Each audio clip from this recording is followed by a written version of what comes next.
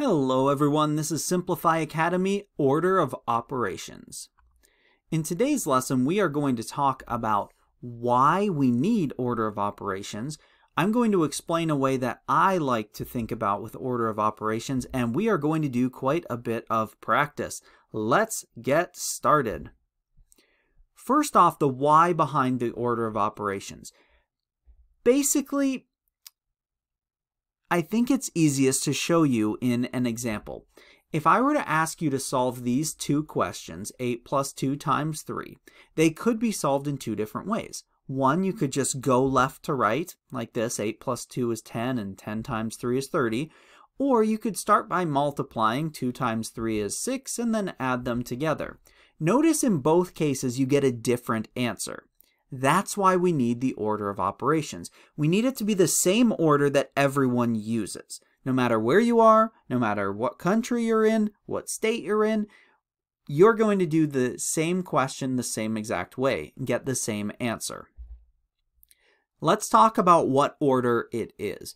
First of all, the thing that gets done first is grouping symbols.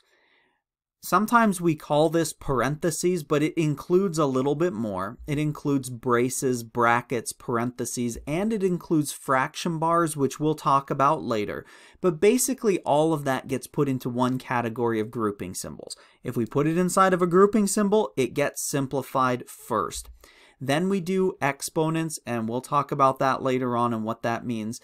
But that's something that would get simplified next. After that, we're going to do division and multiplication in one step from left to right, and subtraction and addition in one step from left to right. Those are the order. Now, I want to explain something that I have seen a million times, well, maybe not a million. That's rounding up quite a bit. This, this PEMDAS, this please excuse my dear Aunt Sally. The reason I don't like this, and I'm not going to use this when we talk about order of operations, is because it often leads to mistakes being made. People think that because the letters are in that order, it's always done in that order. We always do parentheses, then exponents, then multiplication, then when all the multiplication's done, then you move on to the division and then you do addition and when all the addition's done then you move on to the subtraction. And there's some just basic mistakes with that. If you're going to write out these letters these letters themselves aren't bad just put a big space between them or make sure to group together the multiplication and division because they get done in one step and group together the addition and subtraction because they get done in one step. The way I group them together is actually using grouping symbols. When I write them, I will often write them in this way to make sure that, that it emphasizes that that multiplication and division is one step. I want to share something um, that shows this in a way that might make sense and hopefully will help. BEDMAS might not mean anything to Americans, but to some people around the world, that's the thing that they learned order of operations. They didn't learn, please excuse my dear Aunt Sally, they learned this BEDMAS. Brackets, exponents, division, multiplication, addition, subtraction. Notice the division and multiplication there are swapped from the please excuse my dear Aunt Sally model. That's because it does not matter what order the multiplication and division are written in because they are one step. I hope that helped to emphasize that. We'll show examples of it here. Now let's get into actually looking at numbers. I think that that's when things really start to make more sense.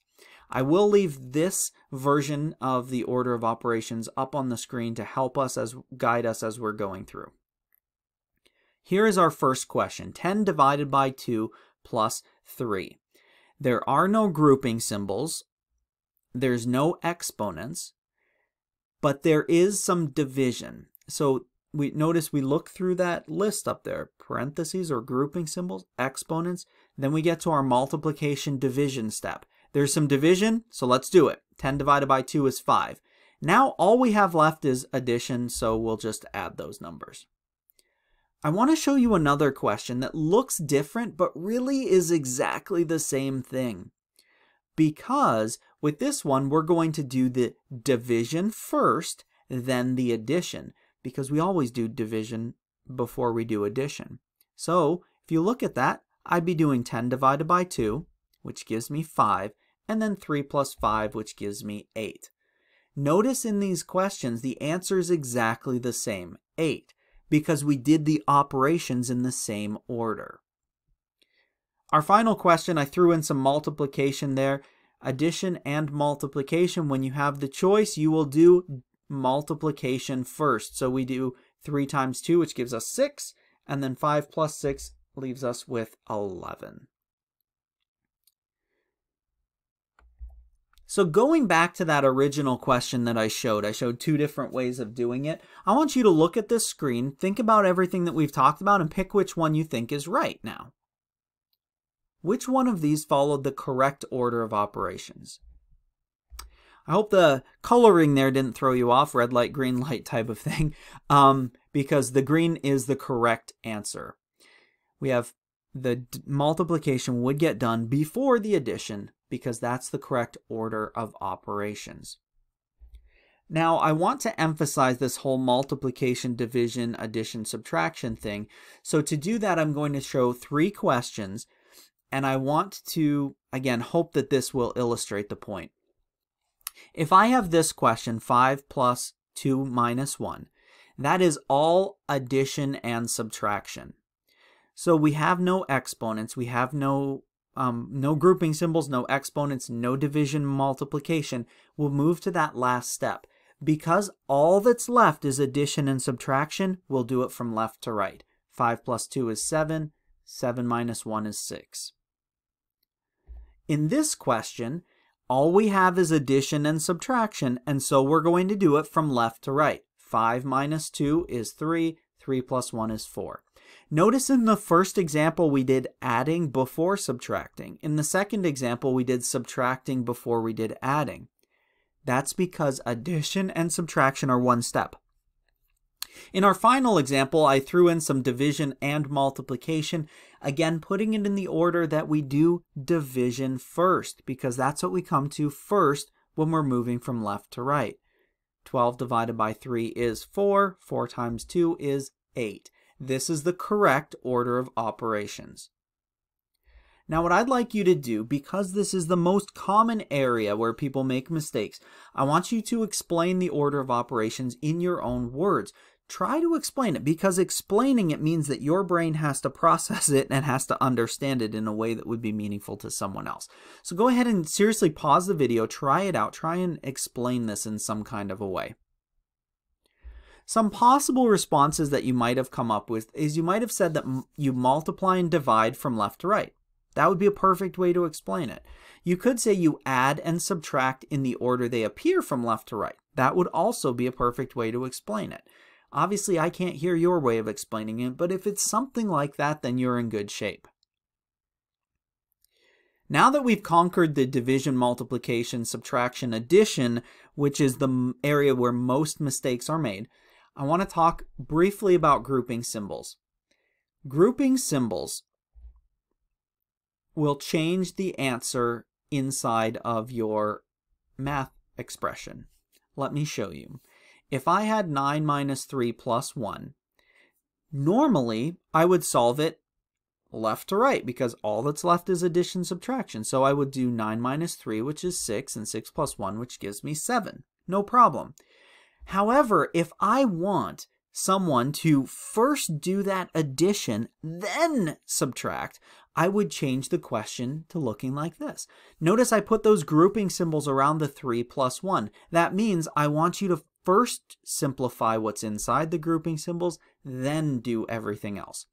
In this case, we would first add 3 plus 1, which gives us 4, and then we would subtract 9 minus 4 gives us 5.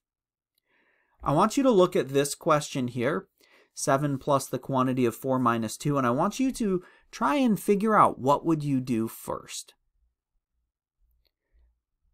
Is the first thing that you would do the subtraction, 4 minus 2? If so, you're correct. I'm not actually solving this expression. I am just saying the first thing that I would do. The very first thing would be to subtract 4 minus 2 because that's inside the grouping symbol. Now we're going to practice with something that's a little bit more complicated. I want you to try and figure out what's first inside of this monstrosity of an expression. It's really big expression, but it can be made a lot more simple by looking at the grouping symbols. When you have 20 minus the quantity of some big thing, you know you're going to take 20 minus something at the end. So let's just cover that up. We're not doing that right now. First, we're going inside the grouping symbols. And inside of these brackets, those square brackets, are some more grouping symbols. So inside of there, you would follow the order of operations. And that says we're actually going even farther inside of there to these parentheses.